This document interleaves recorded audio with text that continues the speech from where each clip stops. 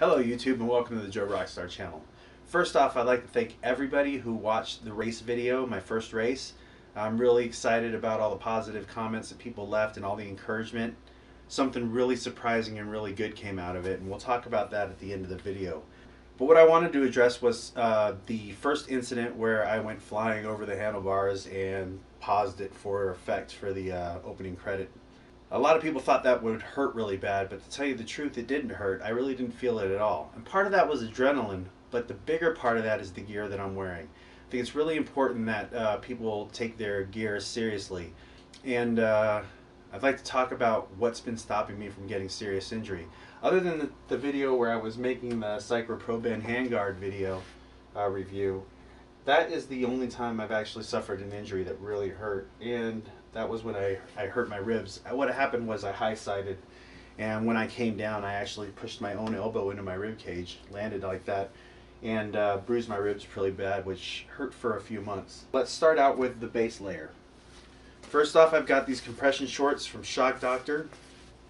All right, uh, these cost about I want to say somewhere around the neighborhood of fifty dollars. I can't remember exactly how much.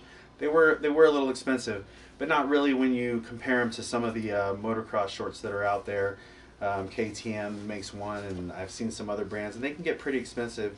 And these were kind of a middle of the road deal. As a compliment to that, I also have the Shock Doctor compression shirt. All right, and this is uh, what I wear under my armor. Uh, this has padding in the shoulders. Both shoulders have a pad. And then uh, what's really important here is, and what I was looking for when I bought it was some rib prote protection. It's also got a pad for the small of your back.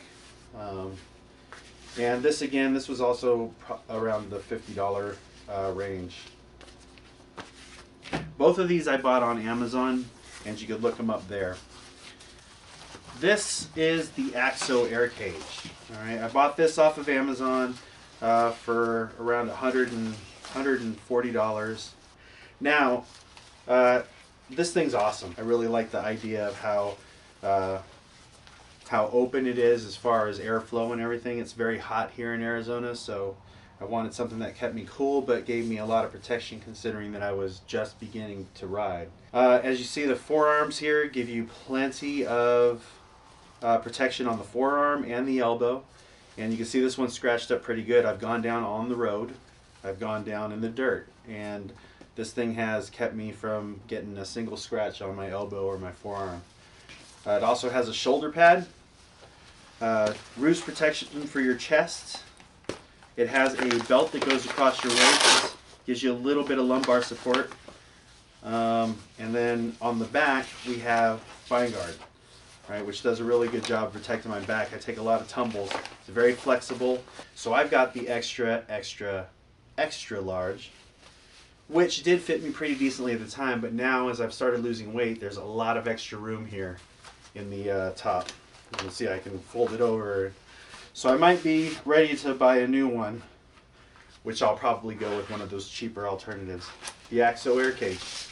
Right, can, like I said, you can find it on Amazon. I'm sure you can find it other places. And there are a lot of different alternatives out there that are made just the same way. The next thing I put on are my knee guards. And these knee guards have served me well. Uh, they do a really good job. They've got some scratches in them too. What a lot of you might notice, those of you who are a little bit more experienced, is that there is no serious uh, knee support here. It's just strictly protection. It's not a knee brace. It's not going to protect you from any awkward movements, twisting of your leg if you get it caught up in something. These are going to be retired. I love them, but they're going to have to be retired because as I'm starting to ride faster and obviously putting myself in more and more risky positions, I'm going to need something that protects my knees a little bit better. This is a new knee brace, brace that's being worn by both uh, Dungey and Villopoto. They're brand new Mobius X8 knee braces. They are not cheap.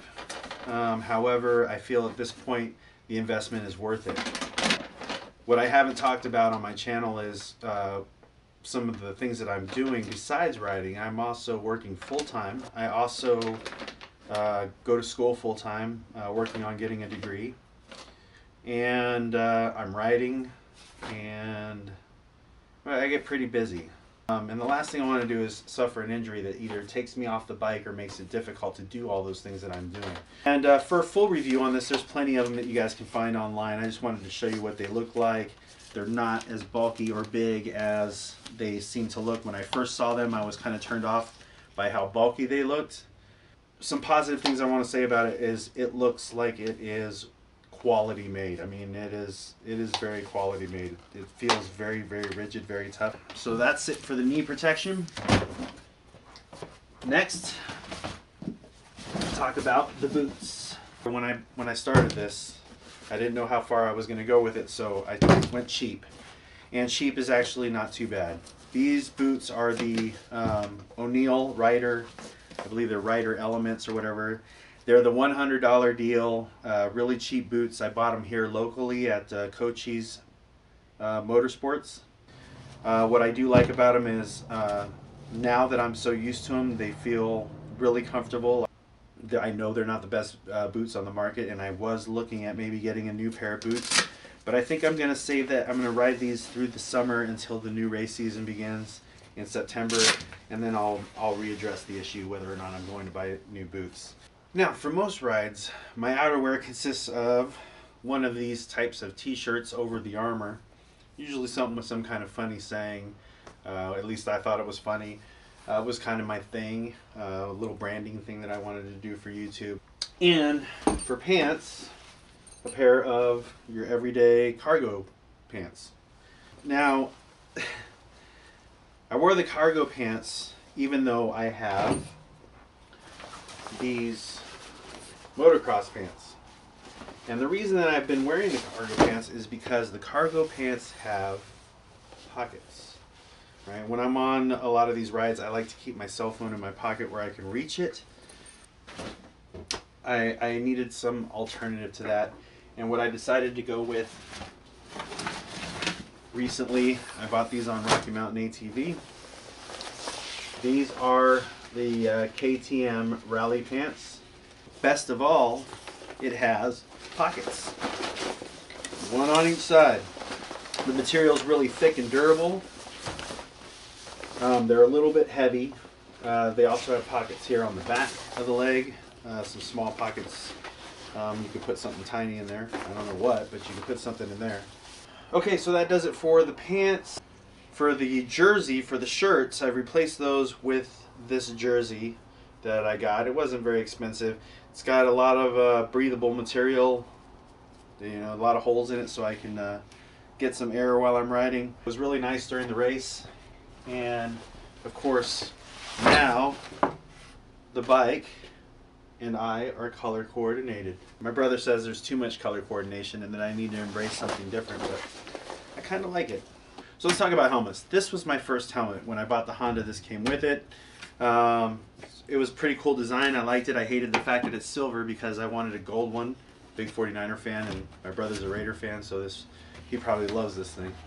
The problem with it is uh, it's large, and as I've lost weight, uh, my cheeks have gotten smaller, my face has gotten a little smaller, and so the helmet actually bobbles now on my head. It falls down in front of my eyes. This is like the most copied helmet design I've ever seen. There are, this is Cyber, and there are probably no less than 10 different manufacturers that make the exact same helmet. You could put them side by side, and every bolt, every switch, everything's almost exactly the same. Maybe a few things, few minor things here and there that are different. I liked it so much as far as the design goes that I bought this AFX version that's almost identical to this Cyber one. One of the features that sold me on this one specifically though, because there were like three or four different brands, was this amazing setup down here for the chin strap. It just ratchets in and it's locked. Pull the red tab and it comes right off. If you're wearing gloves, this is awesome. Uh, the problem with this helmet and the other one uh, was for the race, we are required to wear goggles. Well, the problem is goggles don't fit really good inside this helmet. I had to buy a new helmet. So I looked for a motocross specific helmet because I know that goggles will fit in there. This is the EVS helmet that some of you AMA members might have gotten an email about uh, that they're selling 50% off. And I have to say, it is awesome. It is so comfortable to wear. It's so much lighter than my other helmets. Goggles fit right in it. It's full of nice thick padding. It's really dirty right now. It's full of nice thick padding. It's it's uh, DOT approved. I love it. I don't know what else to say about it. Plenty of airflow, uh, very comfortable. I don't have a lot of motocross helmets to compare it to. This is my only one, but um, it's much better than the other helmets. So now for my big announcement. After the race, um, I was pretty tired, and uh, I was sitting down, and uh, one of the Prescott Trail Rider members was talking to my brother, and we got into a little bit of a conversation, and we talked a little bit about my YouTube channel, which he went to watch, and I think the video, uh, the channel video uh, that talks about why I'm doing this and having cancer and surviving it and trying to basically do these things, you know, these things that I wanted to do my whole life and never did. Um, it, it, resonated with him. He made a phone call to Dave with Best Dual Sport Bikes and told him, hey man, watch the videos, I guess. And uh, I'm not sure the ins and outs of what went on between the two of them, but uh, Ben got back with me um, and he let me know that uh, Dave with Best Dual Sport Bikes wants to sponsor me. Probably the worst rider to ever get a sponsor, um, but it's really wonderful. It's great. I can't express how grateful I am. I don't even know how to begin to express how grateful I am um, because this is really awesome opportunity. Uh, so Dave with Best uh, Dual Sport Bikes is actually sending me um, just about everything from his site that upgrades the uh, KTM EXC 500. Uh, we're going to do the exhaust, um, the exhaust tip, the TPS tuner. Uh, we're going to be putting the clutch weight on. Uh, we're going to be doing the dead end bar inserts uh, to stop the vibration. Um, the big bottom kit. Uh, I mean, just just amazing, an amazing amount of stuff that's really going to make my machine uh, probably more machine than I can handle, but we'll see. Um, I think the only requirement is that I got to start uh, riding a little bit better, maybe a little less crashing, maybe win a race. We'll see. But I'll do my best to uh, represent best dual sport bikes in the uh, in the in the in the most positive light, and I really appreciate everything you guys are doing for me. Uh, ben, I can't thank you enough. I really can't. I really appreciate it. Um, the last thing I want to talk about uh, this purple band I'm wearing is for a friend of mine that I work with. Uh, his name is Sven. And Sven got Hodgkin's lymphoma just like I did. Uh, he waited a little longer uh, to get it checked out.